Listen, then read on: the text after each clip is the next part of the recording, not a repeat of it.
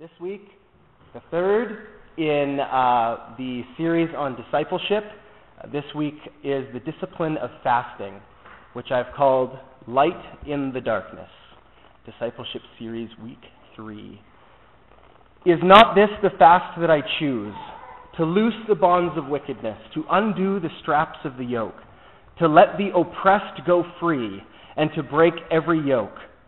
Is it not to share your bread with the hungry, and bring the homeless poor into your house? When you see the naked, to cover him, and not to hide yourself from your own flesh? Then shall your light break forth like the dawn, and your healing shall spring up speedily. Your righteousness shall go before you. The Lord, the glory of the Lord shall be your rear guard. Then you shall call, and the Lord will answer. You shall cry, and he will say, Here I am. If you take away the yoke from your midst, the pointing of the finger, and speaking wickedness, if you pour yourself out for the hungry, and satisfy the desire of the afflicted, then shall your light rise in the noonday, and your gloom be as the noonday. That's Isaiah 58, 6 to 10. I'm going to review what we've, what we've talked about about discipleship so far. Um, the passage that I've read every week and will probably continue to read every week that I talk about discipleship is Luke chapter 9, verse 23.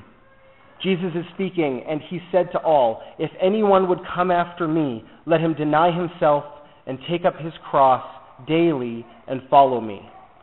And this is also found in Matthew 10:38, Matthew 16:24, Mark 8:34, and Luke 14:27. In the synoptic gospels alone, Matthew, Mark, and Luke, it shows up 5 times. This same phrase. And as I said the last couple of weeks, the cross was an instrument of torture. It wasn't immediately recognized as a religious symbol, but as a political one. And not just a political one, but, an, but a political instrument of fear. It was reserved explicitly for insurrectionists against the empire, not just everyday criminals. So when Jesus said, Take up your cross and follow me, the symbol was not religious yet. Those hearing him say it would not have applied it to him because he had not been crucified upon one.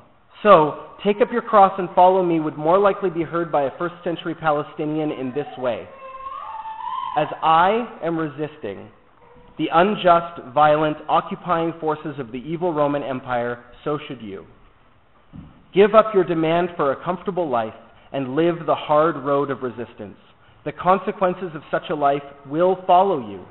Still, continue to actively live for justice until you die at the hands of that empire you resist. That's pretty hardcore. Now, the last two weeks I have not said this, but uh, this week I was reminded when um, an activist friend of mine messaged me on Facebook. I don't know if he'd listened to the message that I put on YouTube or not, but he messaged me on Facebook, and he is uh, he is nominally Christian and loves to talk to me about Jesus uh, turning over the tables in the temple and all that sort of thing. Uh, and he said, "So, so Sean, are you ready to live a life of martyrdom?" And I told him, "No." And this is my so this is my caveat.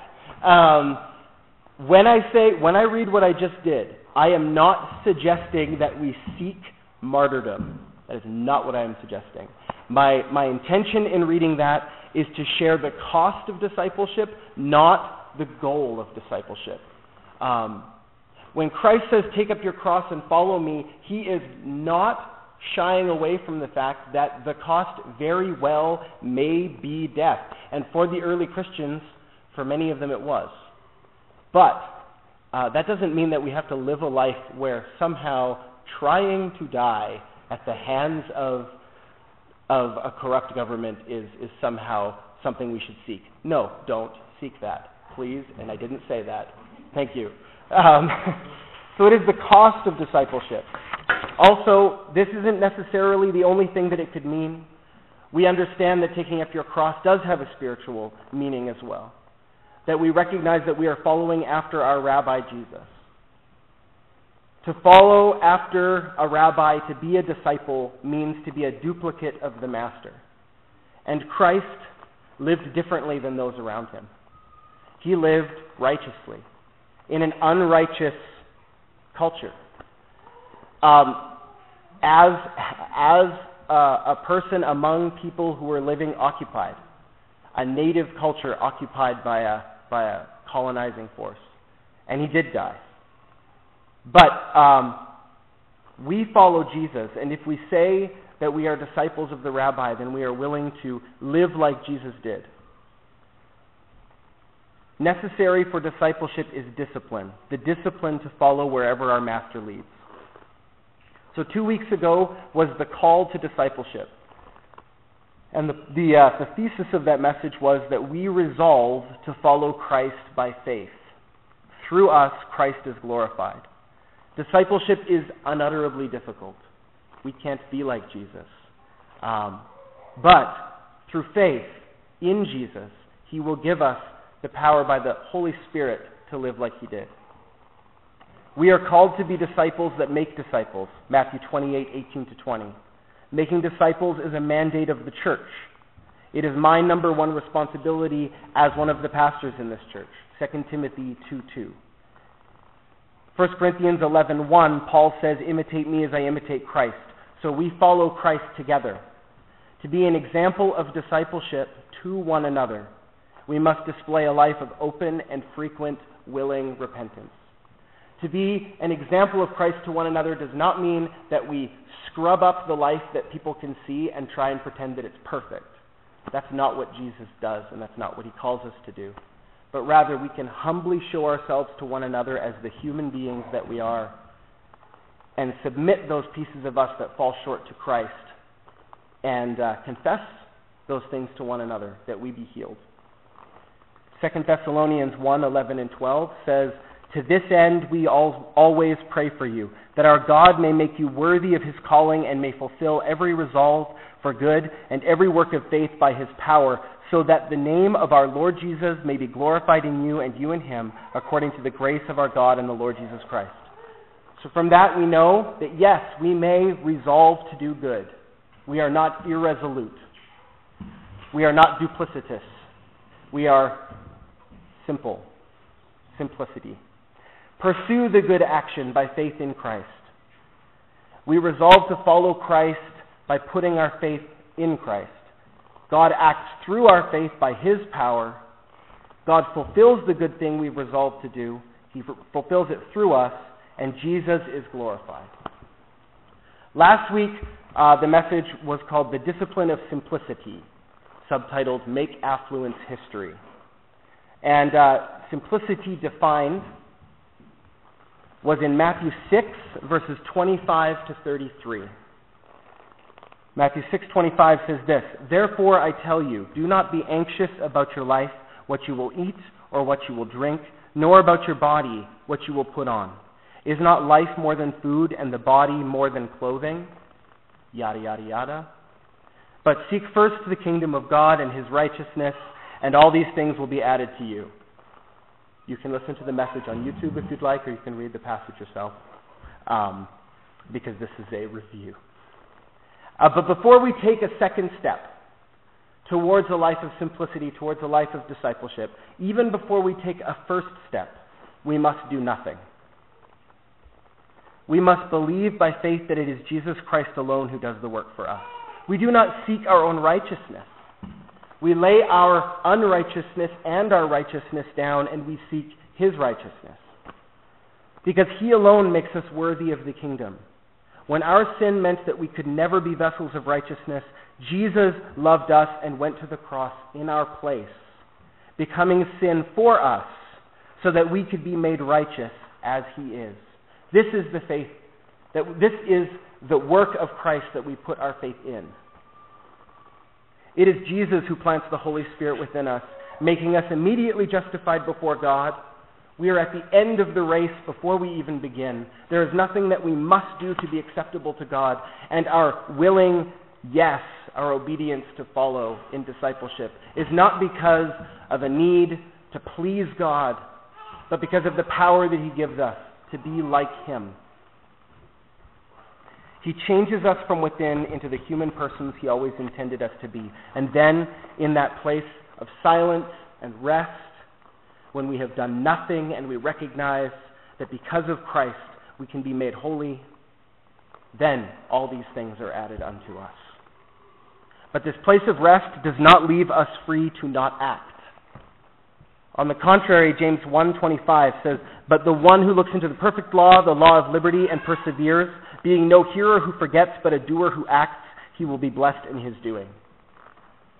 And in James 2:26, as it says in several places in James, "For as the bar- body apart from the spirit is dead, so also faith apart from works is dead." The rich ruler that Jesus spoke to was not to just have a peaceful inner detachment from his belongings when he asked, What must I do to inherit eternal life?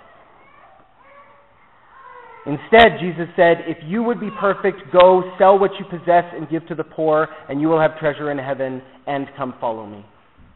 It was an actual act, a practical act that he asked him to do of obedience.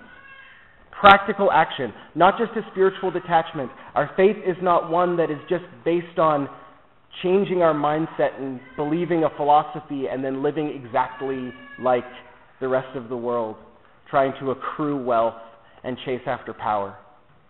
Jesus changes us and then we act differently. Luke 12:33 says sell your possessions and give to the needy. Luke 6:30 says give to everyone who begs from you. And if anyone takes away your goods do not demand them back. Luke 12:15 at the beginning of the story of the hoarding rich man, he says, Jesus says, Take care and be on your guard against all covetousness. We are free from anxiety or contentment from our possessions because we trust our provider. We have no contentment in our possessions. We have no we have nothing in this life that we must chase after to be content, but rather what I said about that place of rest. That is where our contentment lies. And because of that, we have the power to live like Jesus. The riches of this world are kindling. Why do we even try to follow Christ if it is so unutterably difficult? This is new material now.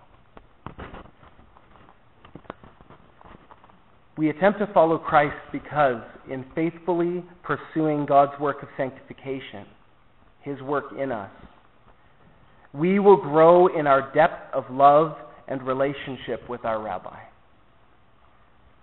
Our successes, our obedience, will be used by the Holy Spirit to teach us about the Father.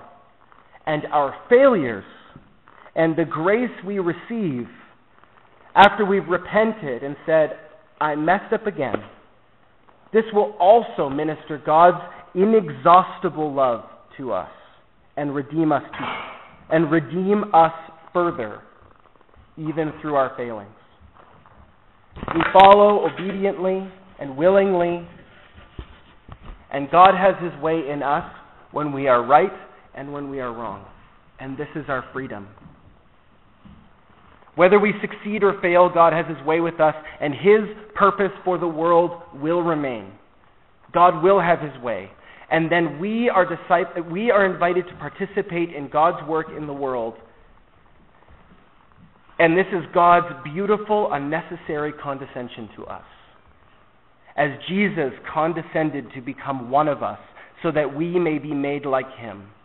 It is a joy, a joy to be invited into our daddy's work. God says, I'm redeeming the world, friends. Would you like to help? Would you like to join me? Would you like to see what I'm doing? My kids like to help me clean up after supper. Sometimes they like helping to to make the dinner. This is especially fun with stir fries. I'll, I'll I'll grab all the veggies and I'll put them on the counter and then I will chop them up and the kids will sit at the table with a cutting board and a butter knife and bang the butter knife against the cutting board while I'm actually cutting vegetables on the counter and then uh, and then I take them all and I put them all into bowls, and then I, I put the pot on the stove and I turn it on and I put the oil in, and then when it's hot, I lift up my child and I put the bowl in their hand, and then they take it and they dump it in because they're helping with dinner. And then after and then after dinner, they like to help clean up. Last week, Elijah helped me clean up after supper, and it was awesome. He put the sauce away in the fridge, but he's not strong enough to open the fridge. Um, so he, he also can't get down from his chair while holding the sauce, and he can't reach the sauce on the table. So he gets down from the chair, then I put the sauce in his hands. Then I open the fridge for him, and then he walks into the fridge, and then he puts it on the bottom shelf, and then he walks out, and then he helps me close the fridge. And he helps. Um, he put the spices in the cupboard, which of course is too high. So I lift him up until he's as high as the cupboard, and then I open the cupboard door while he's in my hands, and then I put the spice in his hand, and then he puts it in the cupboard. and he loves it. He loves helping daddy. And, and, friends, if he wasn't helping, his dinner would probably be very similar. And in fact, it takes a little longer to make the dinner having him help. It takes a little longer cleaning up. But it is my pleasure to have him join me. It is God's pleasure to invite us to join him in his work. And he loves us even when we do not.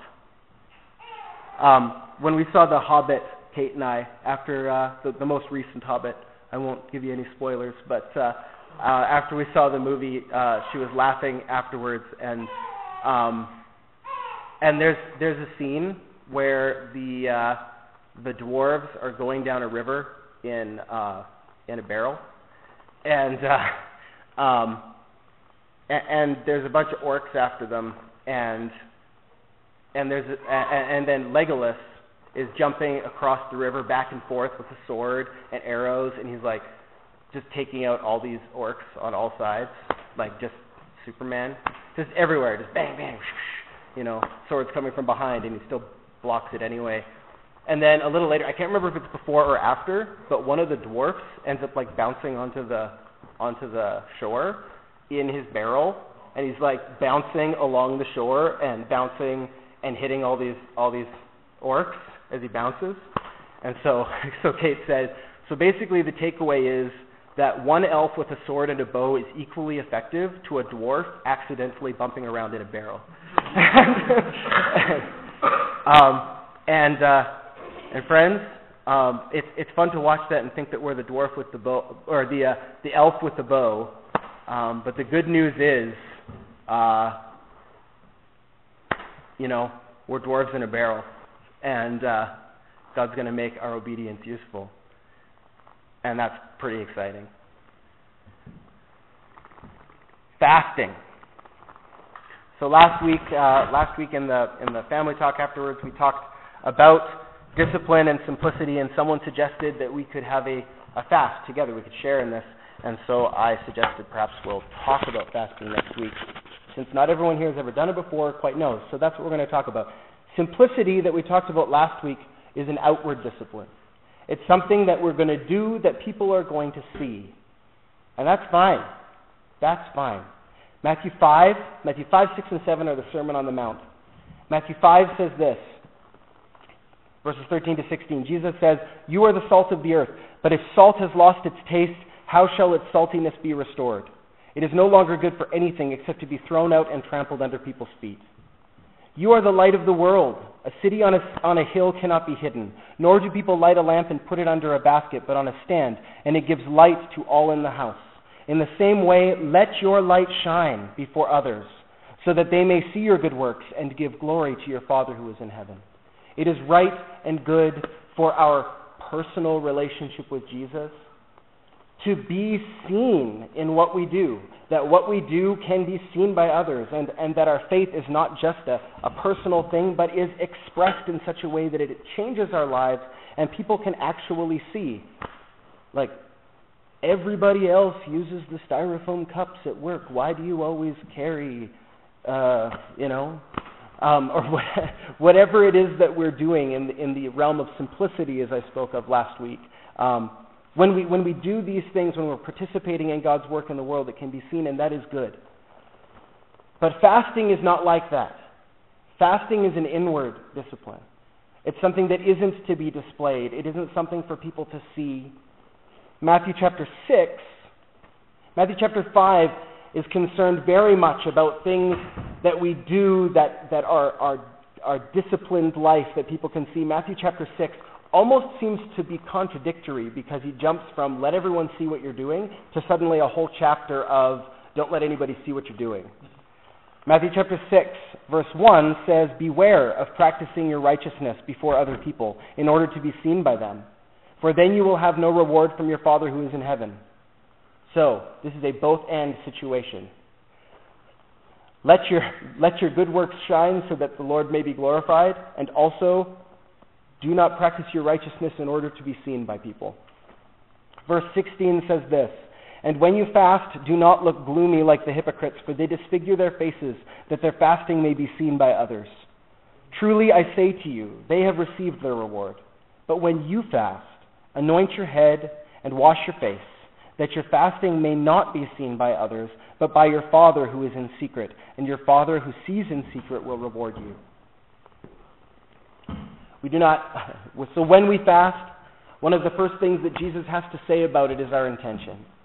Are we doing this so that, so that others can see us, or are we doing this because we're in an attitude of worship and prayer before God?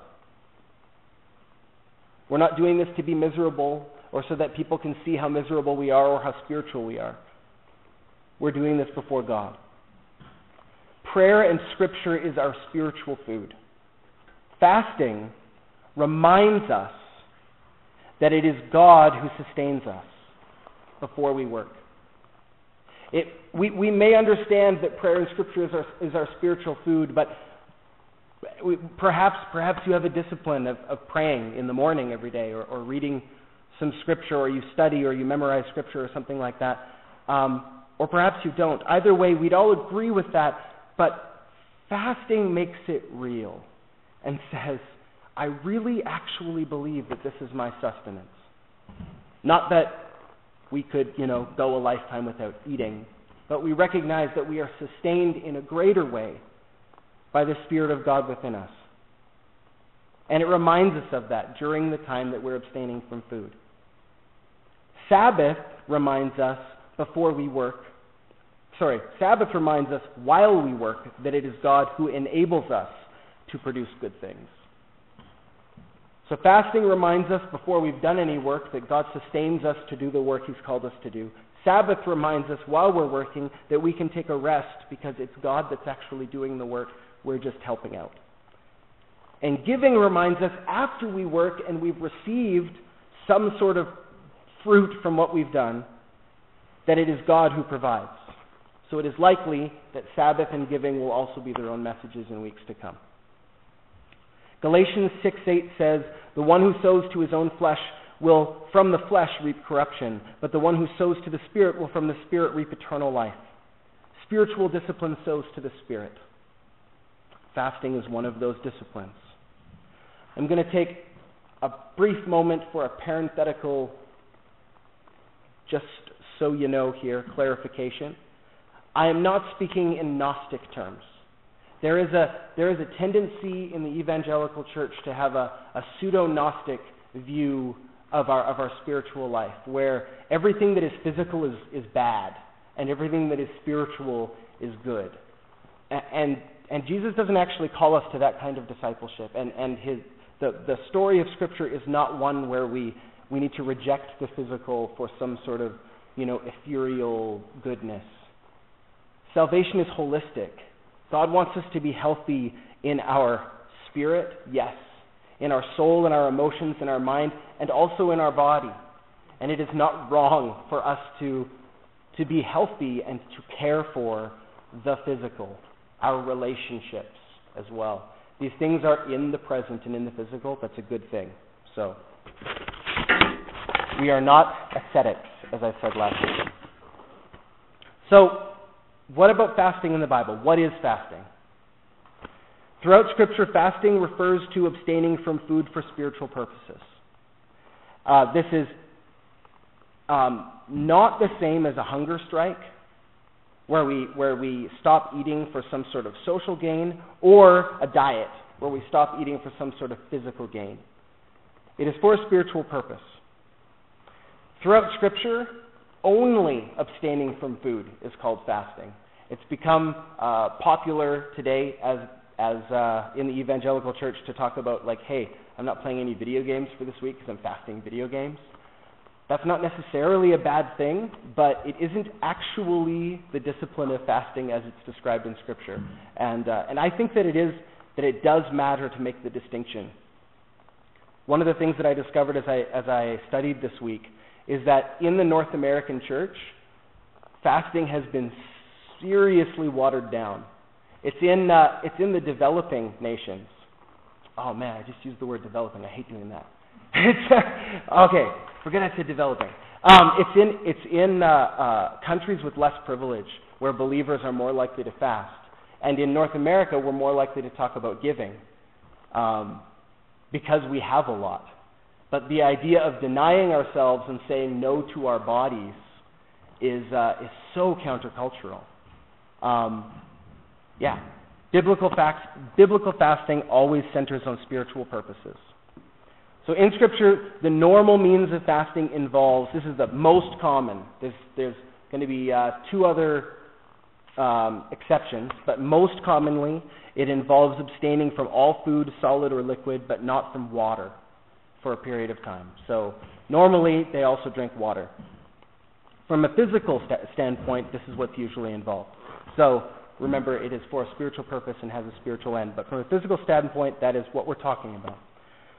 But sometimes in Scripture, there's, there's a partial fast, and the most common example is Daniel.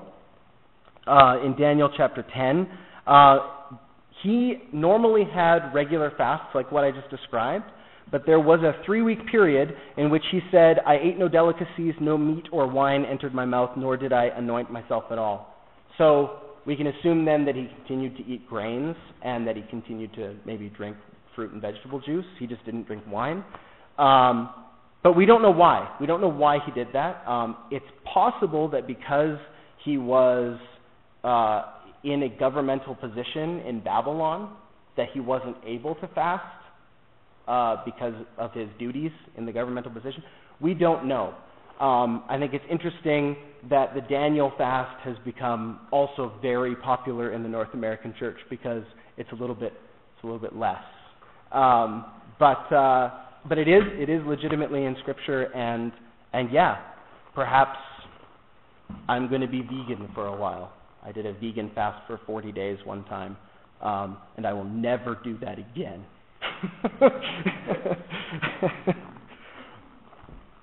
Oh shoot, I'm going to eat my words. Um, uh, uh, there's also examples in Scripture of what can be called an absolute fast. So that's, that's a time where people didn't eat or drink anything, even drink water. The best example of that is when Esther tells Mordecai in Esther 4:16, says, "Have the whole nation fast, including water." Um, there's a couple other times as well, and they're always like the story of Esther, times of, of, of extreme desperate need. Um, so yeah, but I don't recommend it. Uh, this is an unhealthy thing to do. Um, I wrote down uh, the absolute fast is the exception. Um, I don't recommend it unless you feel absolutely convicted by God to do so, and if that is the case, then I then I recommend that you seek good counsel as well. Um, if you feel God's telling me to to do a fast like this, go and talk to some people that you trust and trust their wisdom, because God can speak to them too, and also talk to your doctor. Um, and you will probably hear from them the same thing that I said. I don't recommend it. Um, in most cases, fasting is a private matter between the individual and God.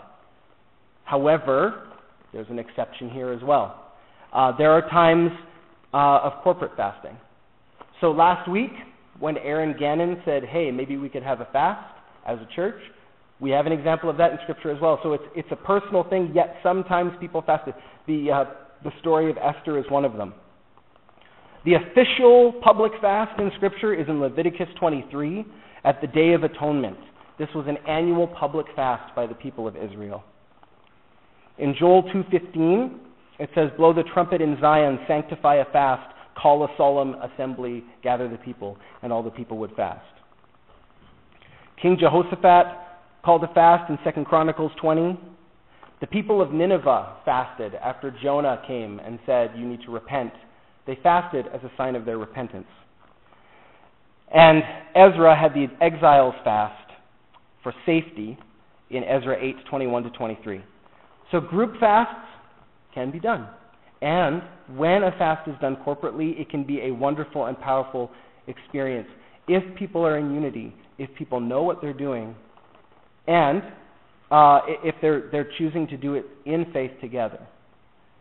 Um, serious problems in churches, disunity, and other groups of people can be dealt with, and sometimes relationships even healed through a united fasting. Um, there have been national fasts. I found one example. Uh, the, uh, the, the, the King of Britain called for a day of fasting in 1756. And during that time, John Wesley was, uh, was in England and he wrote about that fast. So you can read about that. In Jesus' days, the Pharisees fasted. In Luke, in Luke 18:12, he challenges them and says, You shouldn't use fasting as something to boast about um, because apparently they would boast, I fast twice a week. Tradition tells us that they fasted on, I think it was Mondays and Thursdays. They would fast on Mondays and Thursdays because that was uh, um, market day, so more people would see that they were fasting. So that they actually sometimes like blew trumpets and told people, I'm fasting, so now I'm going to pray. And then they'd pray, and then there'd be lots of people there, so they would see them doing it. Um, that's what we're supposed to not do. Um, the Methodists fast, fasted. Uh, in fact, um, what's his name? Excuse me. John Wesley. John Wesley of the Methodists was so was so into fasting that he fasted every Wednesday and Friday, and he actually said that he would not ordain someone unless they fasted every Wednesday and Friday because he thought it was that important. So fasting is, is in Scripture. It is part of our history. It is part of the history of the church. But it has become uncommon, and so we talk about it. We talk about it from an elementary point of view because sometimes we don't even know how anymore. So I'm going to get practical. Paul said that freedom came from fasting often. 2 Corinthians 11:27.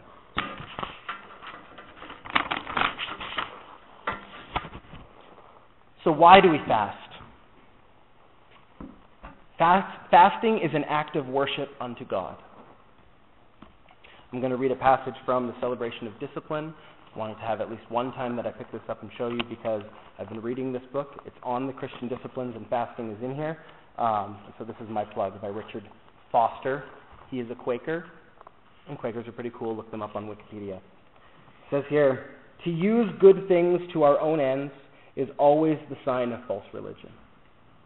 We fast unto God, for God, in God's strength, not for our own seeking to try and become better or try to be uh, right before God in our own strength.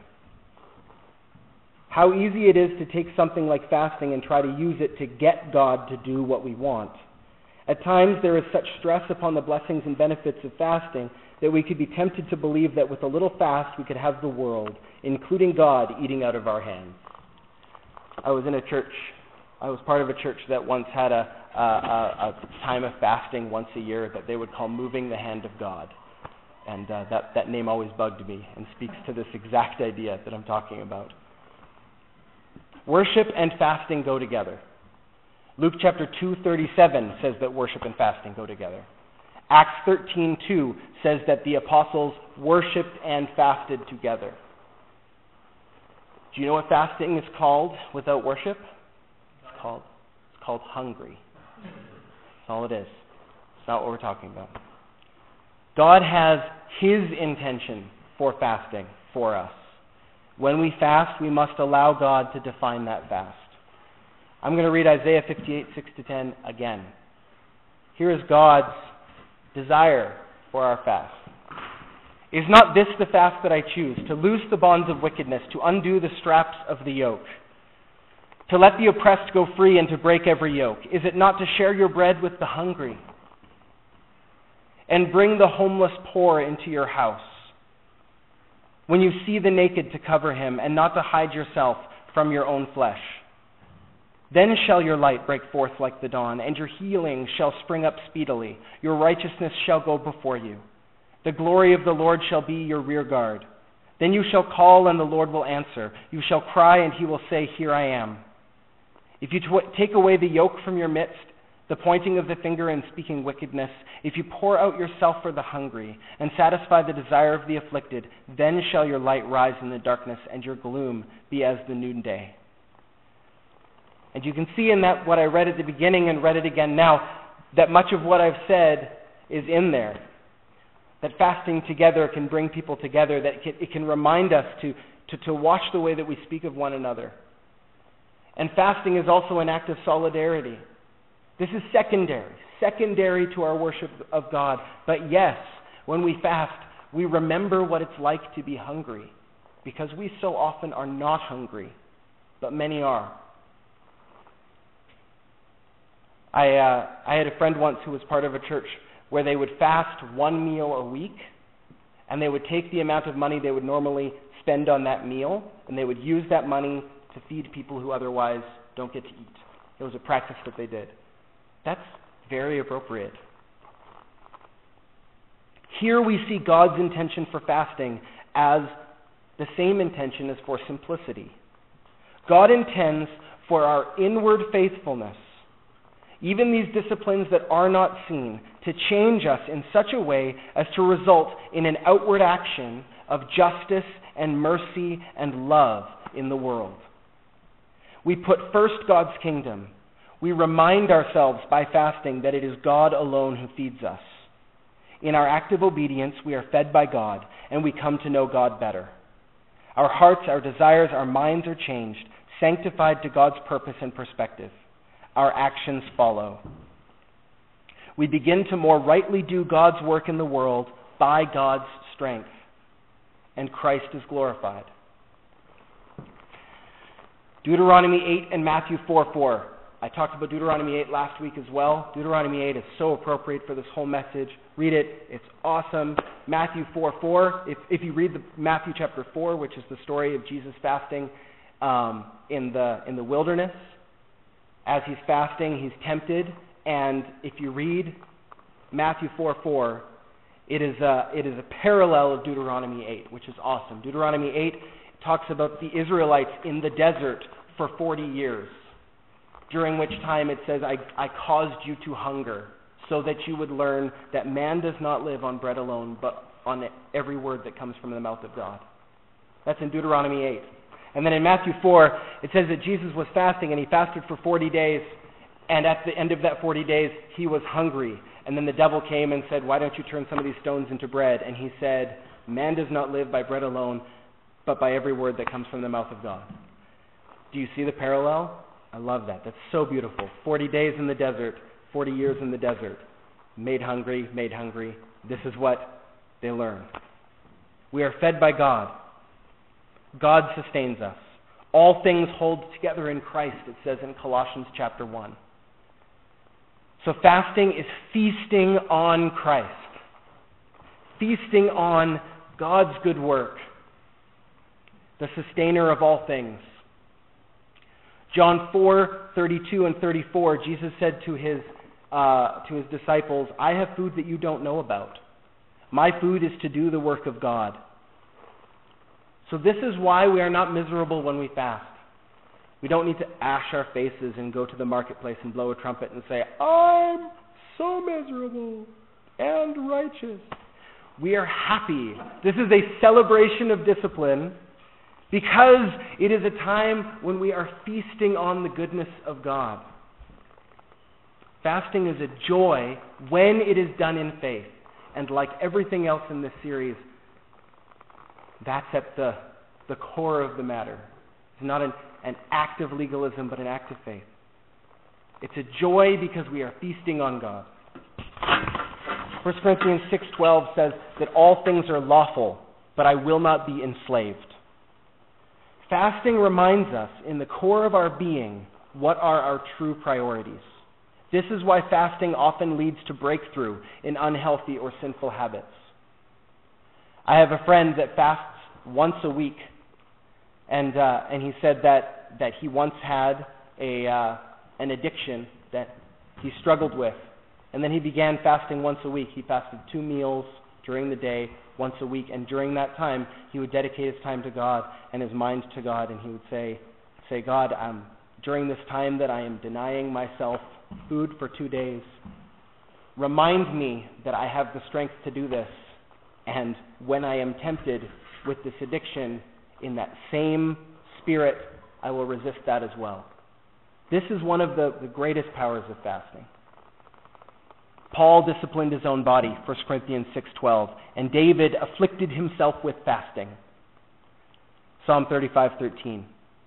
Fasting places our will firmly in the hands of the Spirit.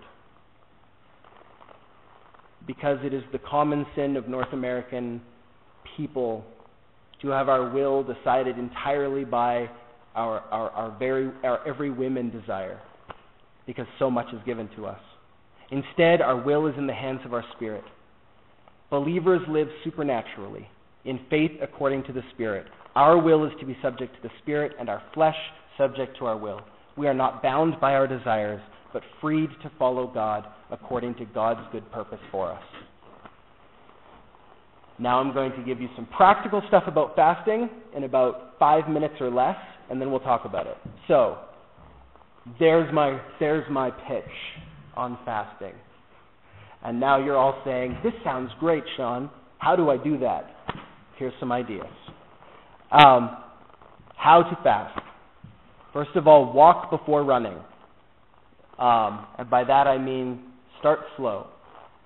I don't recommend that you say this week, I'm going to join the church in a week long fast and not eat until next Sunday. Do not recommend that you do that, especially if you have never fasted before. Start with a shorter fast. For example, 24 hours from after an early lunch, have lunch at 11:30 and fast at noon, until before a late lunch the following day. You skip two meals, uh, dinner and breakfast. That also means that you're ending your fast with lunch, which is a great way to end your fast. Or a day and two nights. So from after supper on one day until before breakfast two days later. So during one single day, you don't eat. Whichever you decide, if you're starting with something slow like that, determine the time period before you start. Don't decide, I'm going to fast for however long it takes. Um, decide ahead of time and then dedicate yourself to God for that time. Be prepared to set aside that time for worship and prayer. And to be prepared to set aside that time for worship and prayer, abstain from anything else that would distract you from setting the time aside. Because you'll be hungry.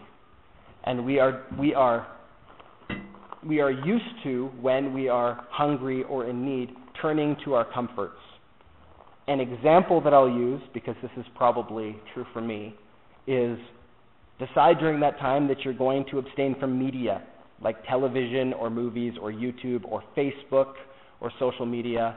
It's very common for me when I'm, you know, anxious or bothered or whatever to grab the iPod and Facebook for a while. Ah, that feels better. But we're not self-medicating right now. Right now we're in a time of fasting. This helps us to be disciplined when we're not fasting. Wouldn't it be great if instead of opening Facebook, I remembered to go to the cross? Um, so perhaps you want to try this 24 hours, skip a skip a, um, a supper and a breakfast, and and fast and pray during that time. You could do this frequently. You could make a habit of this.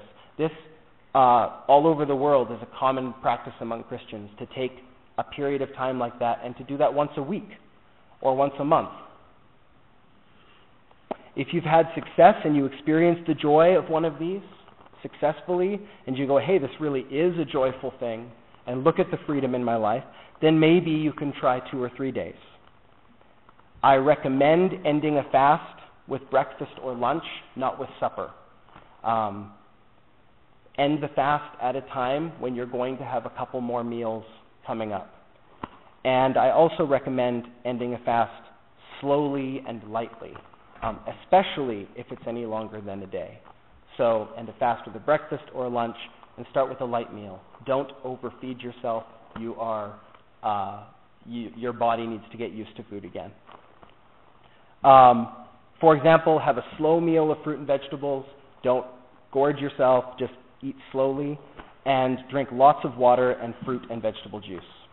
Also, start a fast with a light meal. You might say, I'm going to fast starting at lunch today, so I'm going to just eat the biggest breakfast possible. This actually gives you, this actually makes you more uncomfortable, not more comfortable during the fast. Don't do that. It's also more damaging.